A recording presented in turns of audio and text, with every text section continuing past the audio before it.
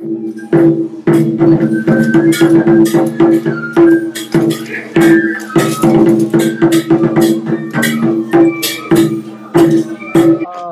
ありがとうございまして、え日曜日で日がいいのでたくさん来ていただきました。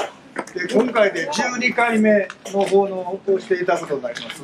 年々、えー皆さんたくさん来ていただいて、えー、蓬莱や丹之助さんはじめ皆さん方には本当に韓国人のことをよく知っていただきましてありがたい限りでございます。で今日お1時からあとよろしくお願いいたします。では皆さんよろしくお願いいたします。えーと今日ご参加いただきました特別ご参加いただいてます関西宮城会の方々です。よろしくお願いいたします。それから、えーもう一方一方、えーと恵比寿、えーと若恵比寿保存会西宮神社さんからお越しになってます。よろしくお願いいたします。先陣切っていただきます。で、それからあの桃原姉妹保存会の方々です。よろしくお願いいたします。えー、そして例年でございますが、えー、ラカス姉妹保存会さんも参加してもらってます。よろしくお願いいたします。よろしくお願いします。では、小関先生、お願いします。はい1日目から始めます。はい。それでは本日、たくさんの方々とお幸せを分かち合いますように、えー、大和の手打ちでお願いします。お手を拝借します。しょいあそれシャンシャンもう一つせいようて参道のおっしゃったシャンシャンえー、出店の方々もご参加いただきましてありがとうございます。本日よろしくお願いいたします。では、V さん、よろしくお願いいたします。元の配信お願いします。Thank you.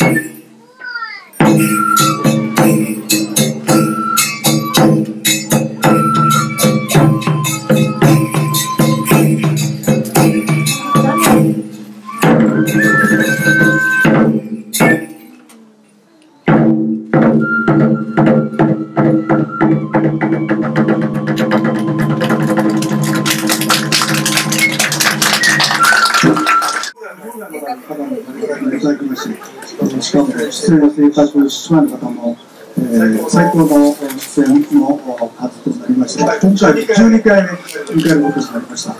えー、観光神社でも恒例の行事となりましたけれども、ただいまのが本日訪問をしていただく島の方々、バイクの方々も報道を始めますという神様に対する、えー、ご挨拶をする、宮参りという舞でございました。えー、これをからその舞をしていただき、観光神社の神様で、桜井の大宮神社のご祭神をしております大物主のことなんですが、えー、奈良時代とその他にパラパラという形で神様をしてお祭りをしておりますので、えー、からその神に、えー、感謝を申し上げて、これから新米を奉納いたしますという、えー、観光神社オリジナルの獅子舞でございます。カラスの